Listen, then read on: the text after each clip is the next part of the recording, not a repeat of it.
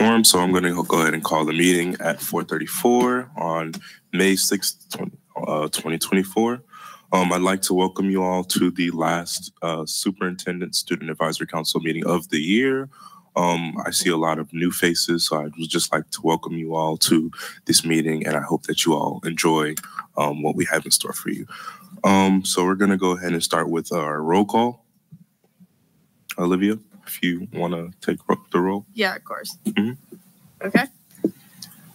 Deja Mitchell. Can they hear me? Sorry. Deja Mitchell.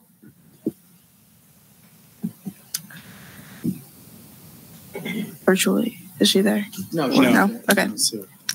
Connor Upson. Here. Cameron Coe. Here.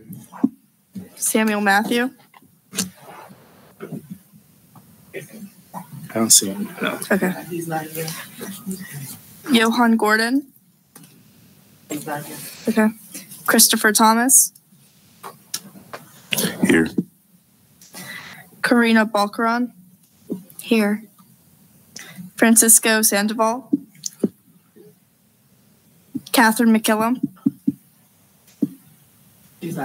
Okay. Dariana Meja Cruz. Okay. Kelly Meja Solares. She's online. Online. She's on her way too.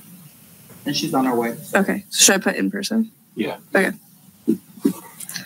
Delilah Lenan. Hi guys, yeah, I'm here. Virtual. Okay. Gabriella Burke. Here. Nathan Ver- Vertes. Here. Carla Gonzalez. Here. And yep, and Samuel Richards. Here. Okay, perfect.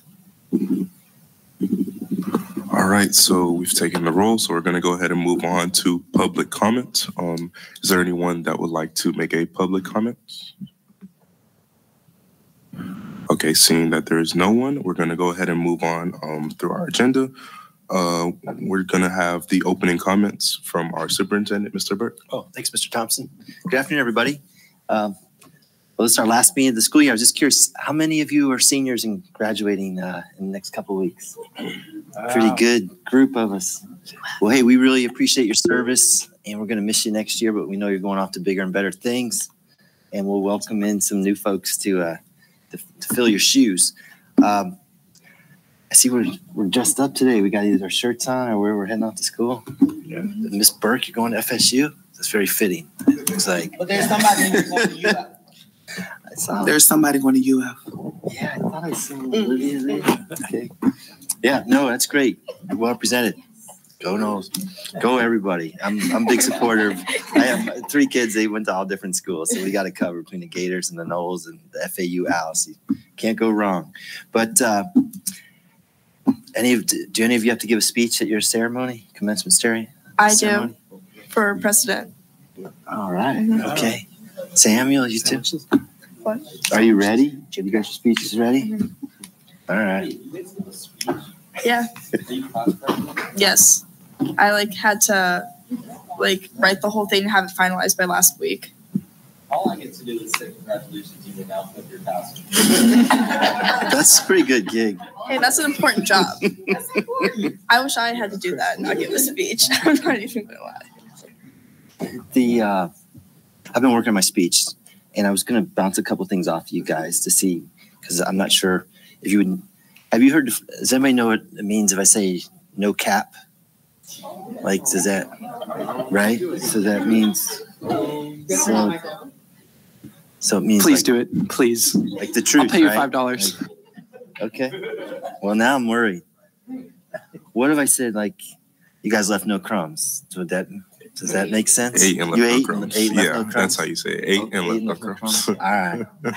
okay, guys, um, me. when you're talking, make sure you turn your mics on and move them close so people online can hear you. Just a side note.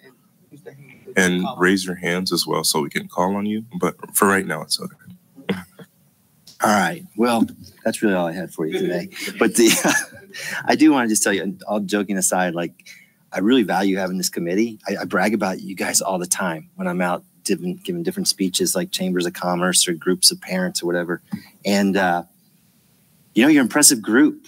You really are. I mean, you're, I feel like you're further along in life than I was when I was at your age. Like you're very, I find you to be very thoughtful and that you care about people beyond yourself. And, uh, yeah, you're very articulate with your, and eloquent with your comments. So appreciate, you know, all the input you've provided. Um, it is helpful and we do, you know, we're trying to get more and more student voice at the table when we're making decisions. So each school is working on creating their own kind of advisory committee. And uh, you guys are pioneers, so you got us on a good track here. And we're going to keep it going uh, well after you leave us. So, Simmons, that's it for me. All right, thank you, Mr. Burke. Uh, we're going to go ahead and move on to an update on the adoption process by Ms. Shannon Caruso. Oh, is this? Hey, it's on. Yes. Hey, everybody. It's so good to see you all again. And I'm so excited to be here in your presence to see you at the last session. It was ama- amazing. Yeah. There you go. It was really great to spend some time and to hear your feedback and input on the curriculum process um, back in February. I am excited to say that in all the categories that you looked through, the Rethink Ed was the main choice, and pending board approval, um, pending board approval, it will um, be going through. What's really important is that we heard you, we saw you, and we understand how important it was that we had that component of the the the dis- group discussion, the f- teacher facilitating the the the lessons, and just that incorporation of being able to share the content and the subject matter. And so, as the SEL team works to do a rollout of this um, curriculum, we are going to be making sure that it's facilitator led and that there are group discussions of the content. So we really appreciate that. Um, we'll say that there may be some, you know, small components where there is some independent work along with it, but it's not going to be click clack moo. It's not just going to be typing and one and done. So we really appreciate your feedback on that, and we will keep you all posted as the process continues. Thank you. I just want to jump in. And, oh. I just want to jump in and add into what you said. We had to actually go back to a couple publishers and kind of had to re-advertise based on your feedback. So it made a, a huge, like Shannon said, a huge difference. But really appreciate that. So hopefully, you just you that are seniors won't see that, but it'll help other kids in the future. So thank you for that. Hello. Okay. Uh, thank you, Ms. Caruso, and thank you, Mr. Oswald. Um, my bad. I skipped the uh, approval of the minutes. So, um, if everyone would want to look over the uh, agenda real quick for today, just take a look at it. Uh, the green paper, excuse me. I'm over here looking at the blue. Um, and uh, is there a motion to approve the minutes? I move to approve the minutes. Uh, is there a second? I also move to approve minutes. All right, uh, Cameron seconds. So the minutes are approved. So we're going to go ahead and move on um, to the student wellness policy. Uh, student input on the student wellness policy by uh, Mr. Bruce Harris.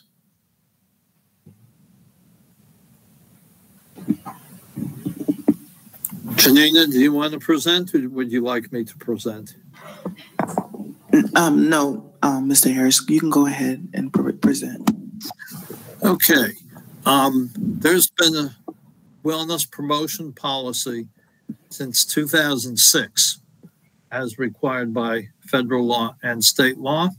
And we've had five uh, revisions since then, and they're going through another one right now. This is a policy that's um, owned by the food services. I was the attorney for who did the legal review, and I'm here as the uh, food service people cannot be here tonight. Um, I wanted to let you know uh, you had seen a copy of this previously because they held a workshop for the pu- for public input. Um, but we wanted, uh, since the policy has not moved forward since then, we want to give you another opportunity to provide input here since they want student input in, into this uh, policy, as well as parents, teachers, and the whole community. And um, if you'd like to discuss this here now, you can. There are certain areas that are in the policy. Um, it tells you the 10 areas that it addresses. You may have some other ideas that you want to present. Um, or, uh, or in addition to that, you can also send in comments. And uh, one of these slides pro- provides you the email address as well as um, the square where you can fi- figure out how to send them in before May 13th because they're trying to wrap it up. However, if you don't have time to do it by then, there's always public comment for board meetings because this would have to go to a board workshop and two public hearings in which you can either appear in person or you can send in written comments. The notices to those meetings will indicate how to do that. So if you'd like to discuss it right now, you're welcome to have discussion among yourselves, or you can send it in and you can discuss with other people just can't discuss with other people in this on this committee because of sunshine issues. But you can discuss with parents, you can send it to parents, you can send it to other students, you can send it to teachers if they want to give input. Um, so I would open it up now if you want to discuss this here now. So, um, yes, um, Mr. Harris. So we're going to give you an opportunity. I know I sent the wellness policy to you. We're going to give you an opportunity to read the wellness policy um, uh, amongst yourself and consider the question, considering the current wellness policy for the Palm Beach County School District, what additional resources or programs could be implemented to better support the social, emotional well-being of students? Um, you can jot down ideas on the copy that I gave you, and then we're going to discuss, elaborate, and build upon each other's ideas in this room. You can't discuss it outside of the room um, with each other because of sunshine law, but you can discuss it in this room. And then you can use the QR code to provide feedback before May 13th, or you can email your feedback. But I'm going to give you about um, five minutes to kind of go peruse the wellness policy and think about ideas and thoughts that you can share with the group. And if you didn't have time to look at the policy, just so if you look on the bottom of the first page, there's 10 components that are covered within mm-hmm. this wellness policy. So you can see, and then it, the rest of the policy is broken down into those particular areas from physical education, physical activity was section one, section two, nutrition, environment, services, section three, counseling, etc. So you can see how that's organized. Sorry, I didn't know That's good.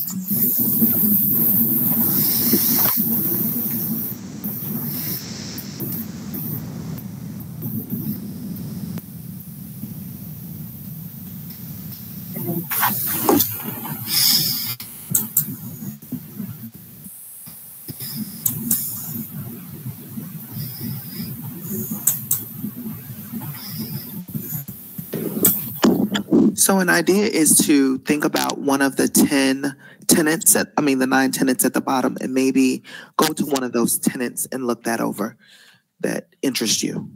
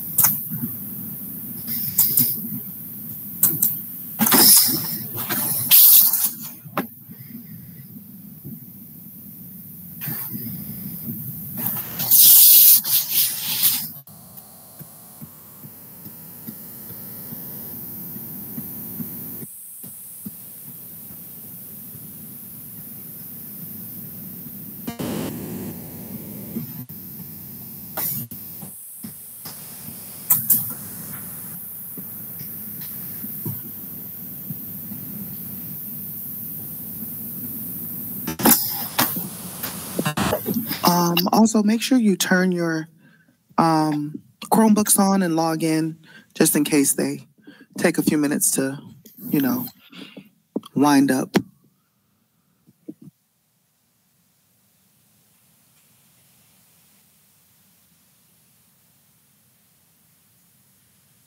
All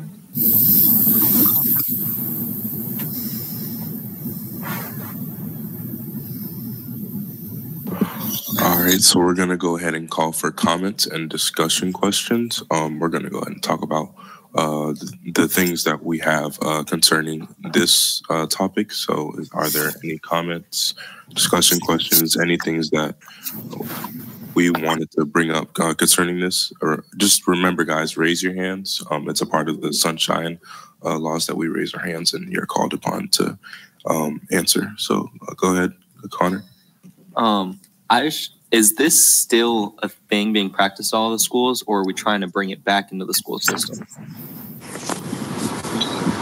It still occurs within the, the school, um, but we make adjustments each year to the policy to try to strengthen it or make it better based on feedback. We would say I have a follow-up question.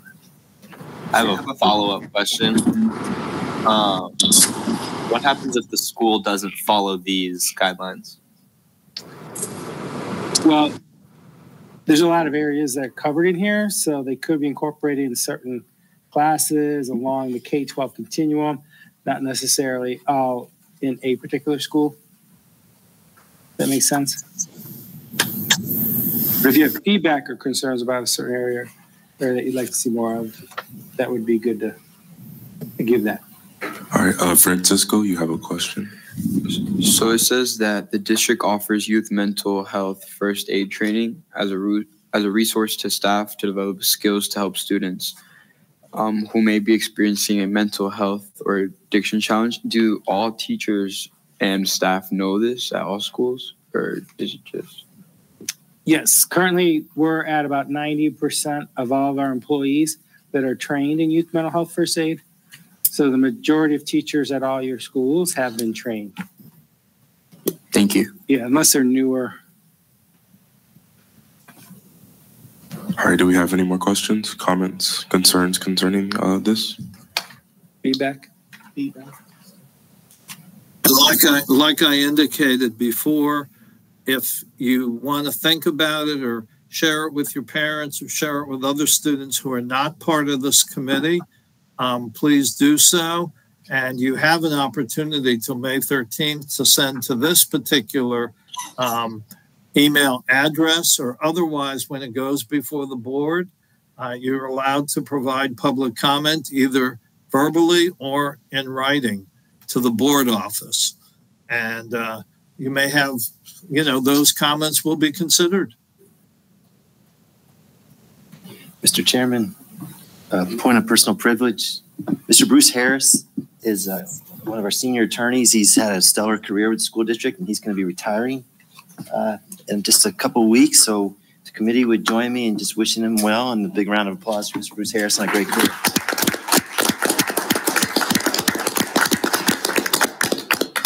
Thank you. Thank you. It was a pleasure. I, I don't know if you recall, I spoke at your first meeting and discussed sunshine and a little bit about Robert's rules. Oh yeah, they're all nodding in the affirmative. They remember every everything you said, Bruce. So you're the one that tries to keep them out of getting in trouble. That's right. Thank you, Mr. Harris. Thank you. Have a great night. All right, so uh, if that's all said and done, we're going to go ahead and move on to the next um, point in our agenda. So right now we are going to have a presentation um, by Mr. Joseph Sanchez um, concerning uh, school start time. So, uh, Mr. Joseph, if you'd like to introduce yourself. Good evening, everyone. I'm Joseph Sanchez. I'm the Chief Operating Officer here with the school district, and I'm joined by two of our colleagues. I'll let them introduce themselves as well. I'm Tasha Peart, and I'm a manager in the COO's office. James Campbell, Director in the COO office. All right. Doc- Dr. Campbell. Yeah, Dr. Campbell just he joined us uh, from Seminole Ridge High School. He's a former principal over there. A couple other places as well. um, so I want to talk to you guys about the uh, House Bill uh, 733. Um, so this is the, we're going to cover the, these issues. So we're going to do a little overview, some of the district parameters that we're working through, some comparisons, some of the different start start time options that we uh, start looking at. Um, we'll look at a couple of different uh, school districts, and we'll look at options that we have for ourselves. Some of the objections that that I've gathered, that we've gathered as a team, and then the next steps that we're going to be taking to move forward. So first of all, House Bill 733, which was passed not this past session, but the previous session in 2023 uh, by the, the, by the legislature, requires that by uh, July 1st of 2026, that um, that middle schools can't start any earlier than 8 o'clock, and high schools cannot start any earlier than 8:30. Um, this require this the law also requires that we inform the stakeholders about the impacts of sleep deprivation on health, safety, and academics, inform them about the benefits of later start times, and also discuss different strategies for implementing later start times. So some of the parameters that we're dealing with, uh, first of all, most of our bus routes um, take your three, uh, take your all three levels. They go to high school, then they go to elementary school, then they go to middle school.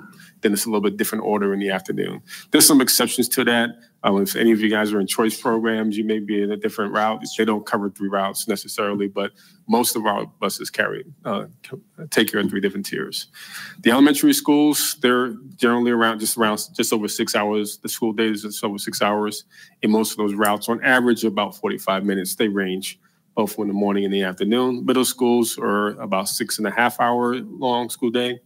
And they those, route, those routes take about 70 minutes in the morning and the afternoon. And then high schools are between seven and seven and a half hours or so. Um, and those routes take about 65 minutes. Again, this is different from choice. This is just a typical routes. Um, on the right, you see that our bus drivers ha have an eight-hour workday. Uh, that's important to them. They, they need to earn a living, and then um, they have on in the mornings they do a pre-check on the bus for about 15 minutes. And in the afternoons they do another pre. They do a post-trip check uh, again just to make sure nobody's left on the bus. You know things like that. Again, it's all about safety, making sure the brakes are working, everything is good like that. Um, the all morning drop offs, we need to factor in, um, give students enough time for breakfast if they want to have breakfast. And then at the high schools, we just we're implementing the metal detectors, so we have to allow enough time for students to get through the metal detectors and get to the get to the, the uh, get to the metal detector, have breakfast, and then get to class. And then for high schools, um, one of the things high schools have a lot more have flexibility with lunches. Some of them have one lunch period, some have two lunch periods, some have three lunch periods um, we want to make sure there's enough time for students to sit down and have lunch. So we don't want to squeeze the day down too too far. So we looked at some other school some other school districts. Um, the first three of them are actually already implementing those those times that they have there. And Martin County is going to be introducing their their new schedule next year to comply with the law. Um, you see that Hillsborough is about the, size is the number of students. So Hillsborough is about the same number of students we are. They're around 220. We're around 190 or so.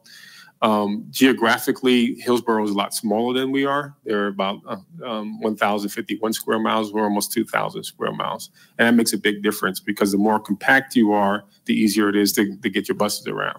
So they have a little bit uh, easier time of doing that. But you can see the districts, the four districts who have determined their times for next year or have already have them in place, they're all going element, elementary, then high, and then middle.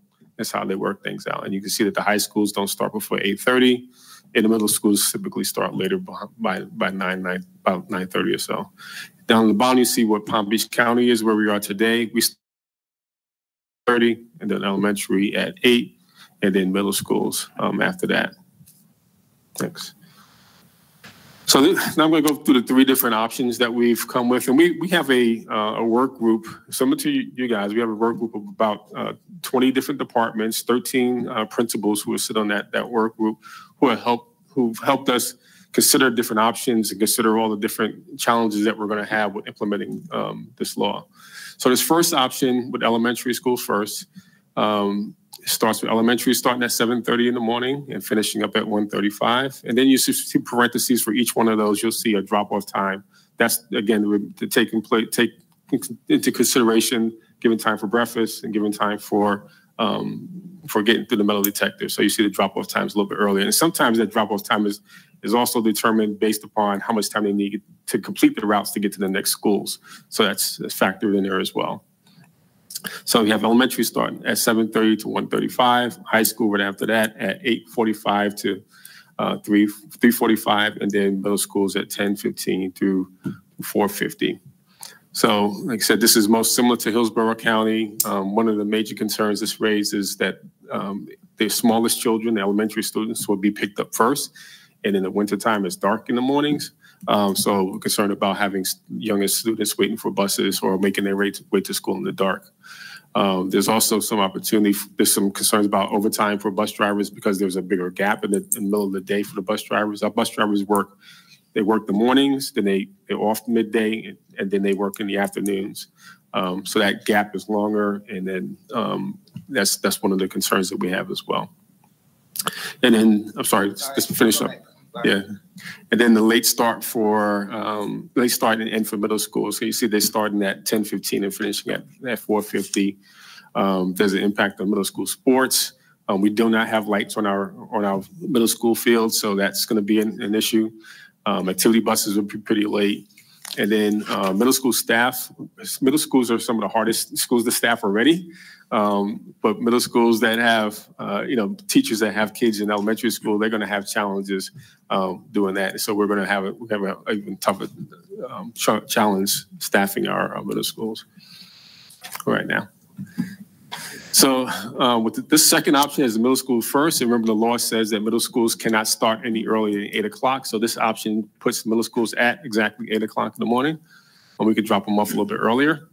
Um, then follow up by, by high school starting at 9:15 through 4:35, and then elementary schools um, starting at 9:45 through 5 5:50.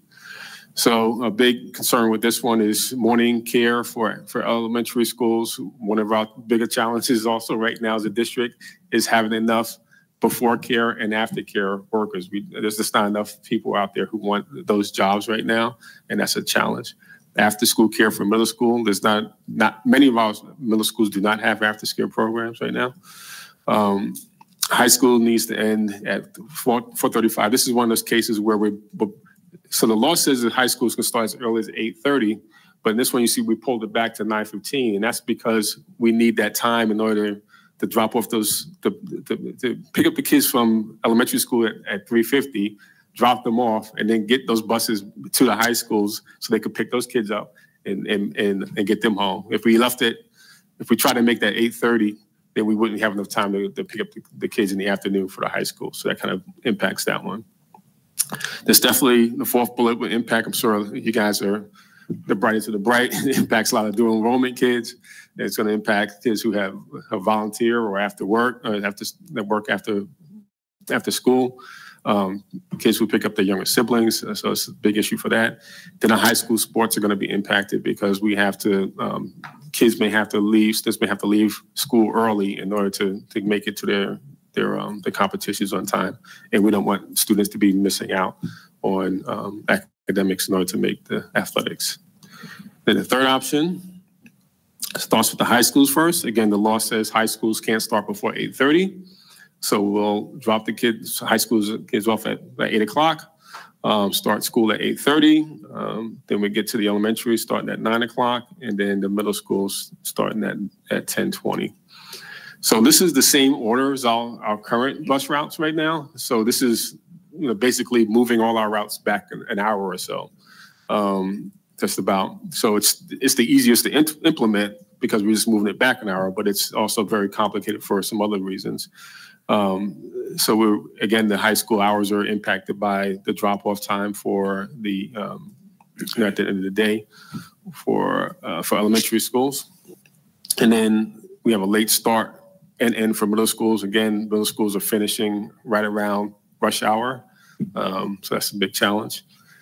Morning care. Um, the one thing about about special about the morning care in particular is that you, you, for students who have um, IEPs or you know, students who are, have special needs, we have to make sure that they're still getting they're being serviced by people who have the skills to service them. So it's not you can't just pick up any college kid to watch over kids that that have um, that have special needs. We have to make sure that they get the care that they need.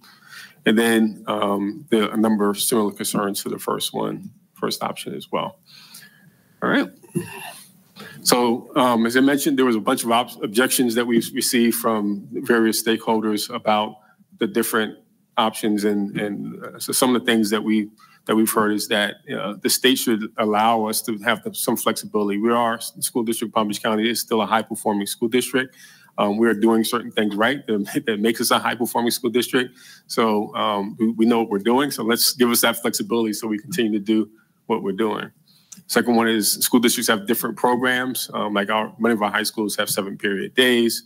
We have choice programs. Not all school districts offer the things that we offer here in Palm Beach County. So it may be easier for somebody else to do um, to meet the law than it is for us because we, we offer such variety of, our, of variety of programs.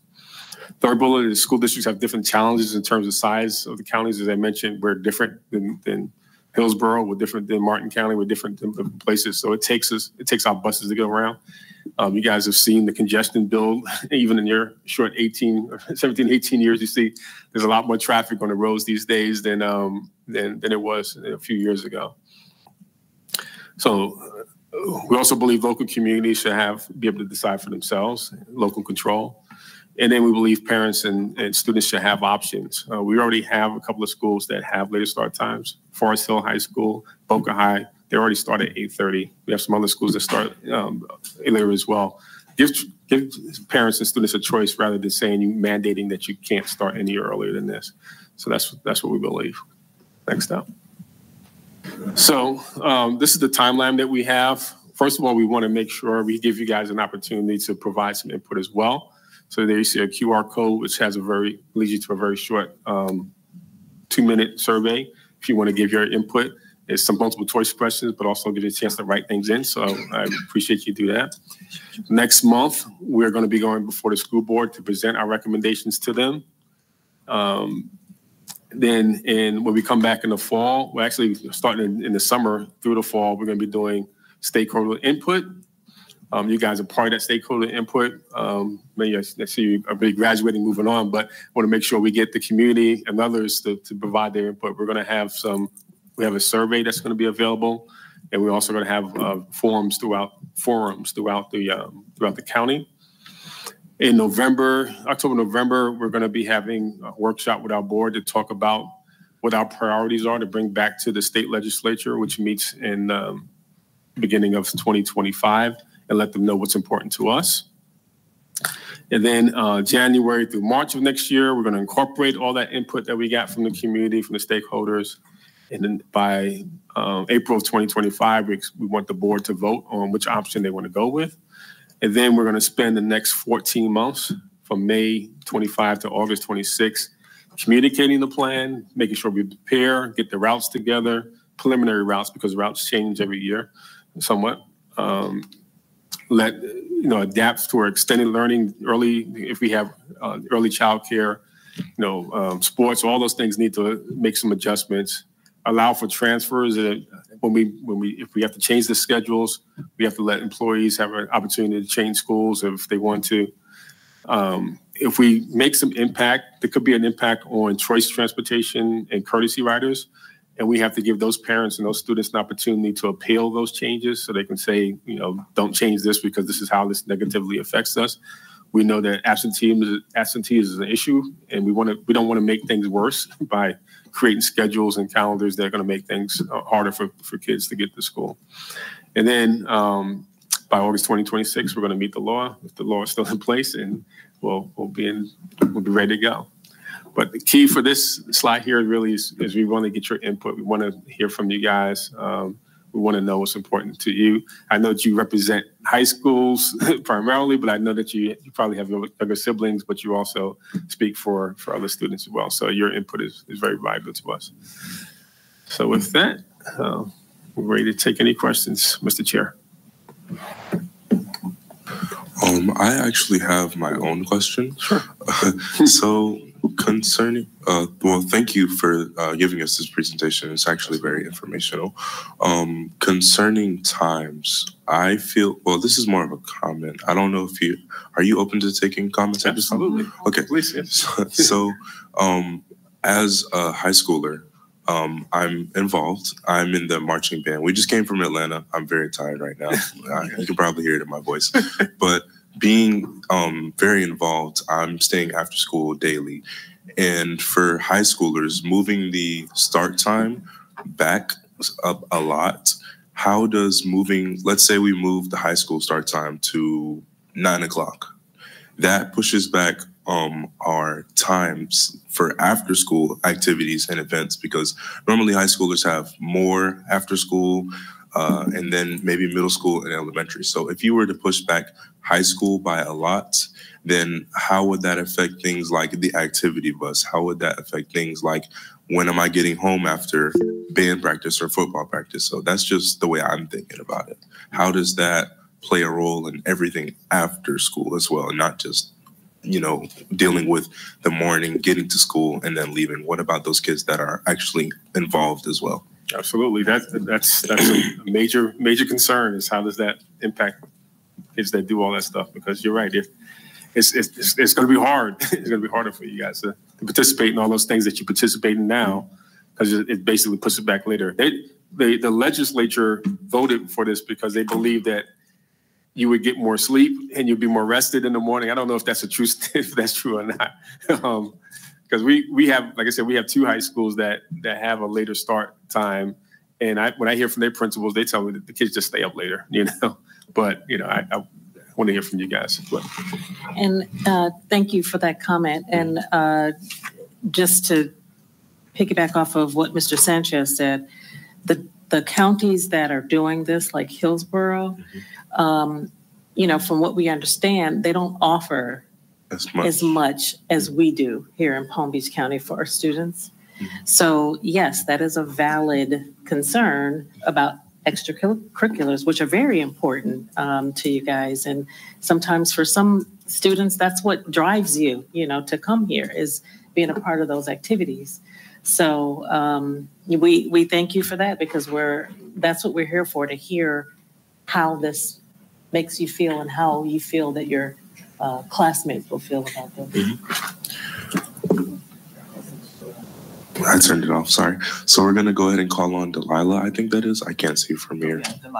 Okay, Delilah, you have a comment or a question? Hi guys, can you guys hear me? Yes, we can hear you. Okay, I just kind of wanted to build off of what you said because that was honestly one of the first things that I thought of too. That I'm so involved that I feel like I right now feel like I don't have enough hours in the day to get everything done because as a student, not only am I worried about my academics and study time and homework and stuff, but also getting my sports done, my job, everything like that. And I know that if I had like an extra hour to wake up, that wouldn't be helping me with sleep at all. If, anything, that would be like making me stay up later because now I'm getting home from work later and I have homework to finish that's going to be finished even later. And honestly, I, I think about like the real world. All jobs start around like six, seven early. So I don't understand why we'd be like enabling students to get adjusted and used to like later start times when in the real world that's not how it works. And then also, um, like I understand, like I'm one of the like few students who are very involved in school and that would have like those problems. But a lot of students that I know work, and I think that like by starting it later, we would be getting to like work later, which means we'd be working later, but also like cutting it down on our hours. And an hour a day is a lot of money.